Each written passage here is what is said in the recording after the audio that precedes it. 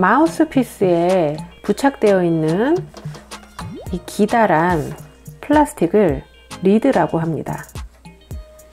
실제 리얼 색소폰에서 리드의 역할과는 조금은 다른데요. 에어로폰 AE10에서는 악기에 숨을 불어넣는 것 자체만으로도 소리가 나게 되고 리드를 입에 무는 힘으로 비브라토나 피치를 제어하는 역할을 합니다.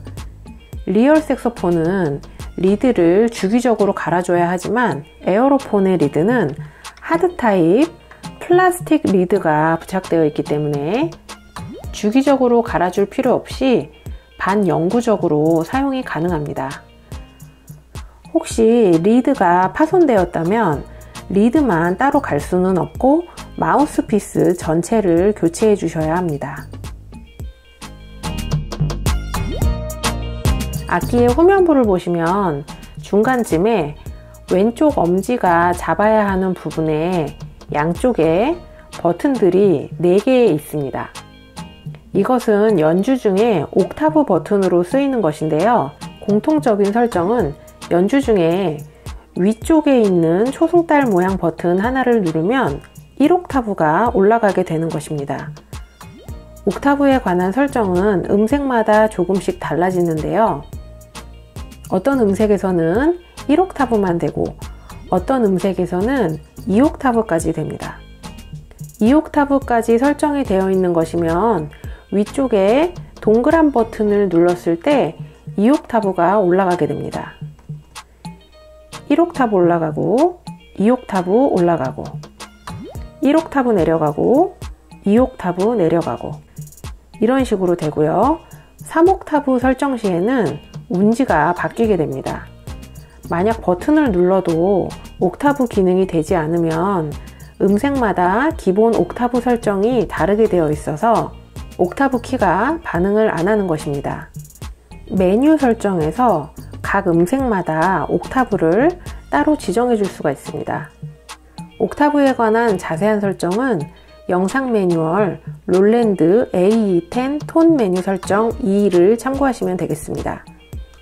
옥타브 버튼은 음색을 저장할 때 글자를 입력하는 버튼으로 쓰이기도 합니다. 이 기능을 보시려면 영상 매뉴얼 롤랜드 A10 톤 선택하고 저장하기 편을 참고하시면 되겠습니다. 옥타브 버튼 아래쪽에 있는 버튼은 톤 버튼이란 것인데요. 이 톤 버튼은 음색을 변경할 때 사용하는 버튼입니다. 톤 버튼 한 개만 눌러서는 사용하실 수 없고요. 톤 버튼과 좌우 방향 키를 같이 눌러야 음색이 변경되게 됩니다.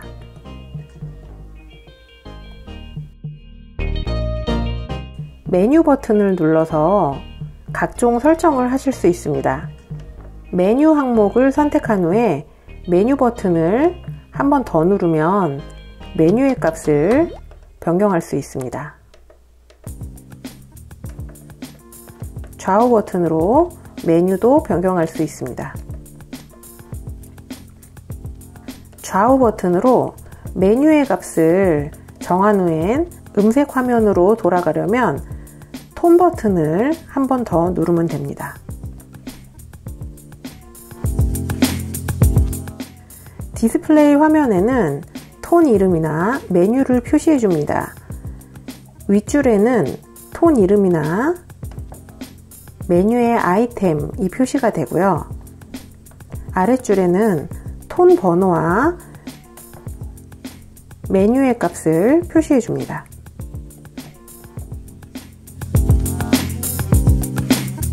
악기를 잡았을 때 오른쪽 엄지가 받치고 있는 후크 쪽을 보시면 동그랗게 생긴 컨트롤러가 있는데요. 이것을 썸 컨트롤러라고 합니다. 말 그대로 엄지로 사용하는 컨트롤러입니다. 썸 컨트롤러는 네 방향으로 다 움직이는데요. 각 방향에 따라서 다른 효과를 줄 수 있는 컨트롤러입니다.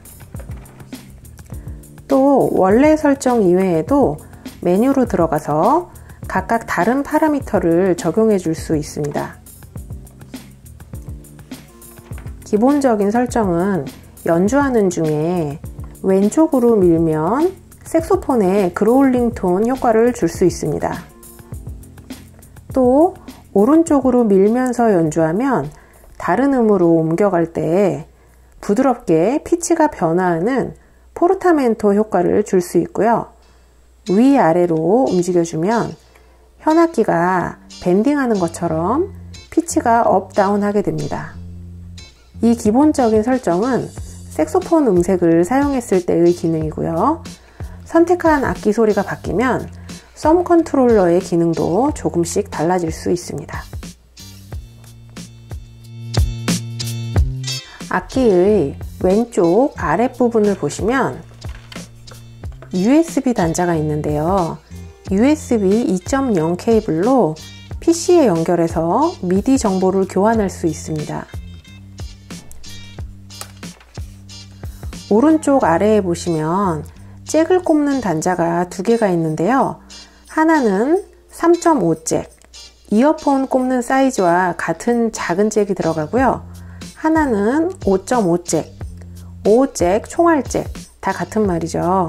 5잭이 들어갑니다. 3.5잭 단자가 인풋 단자인데요. 이곳에 오디오 플레이어를 연결해서 MR이나 곡을 틀어놓은 상태에서 연주할 수 있습니다. 이 단자에 입력된 소리는 에어로폰 내장 스피커로 흘러나오게 됩니다. 오디오의 볼륨은 오디오 플레이어나 에어로폰의 볼륨에서 조절하시면 됩니다. 5.5 잭이 들어가는 단자는요, 아웃풋 단자인데요. 잭을 꽂으면 에어로폰에서 나오는 소리를 헤드폰이나 스피커로 나오게 할 수 있습니다. 이곳에 잭을 꽂으면 기본 설정은 에어로폰 자체 스피커에서는 소리가 나오지 않게 되는 것인데요. 메뉴에서 스피커 설정을 변경해서 에어로폰 자체에서도 같이 소리가 나도록 설정할 수도 있습니다. 악기의 후면부 맨 아래쪽을 보시면 동그란 구멍이 하나 있는데요. 이 부분을 water drain이라고 합니다. 리드를 통해서 들어오는 침들이 아래쪽으로 흐르면서 water drain 부분으로 자연스럽게 물방울이 흘러나올 수 있습니다.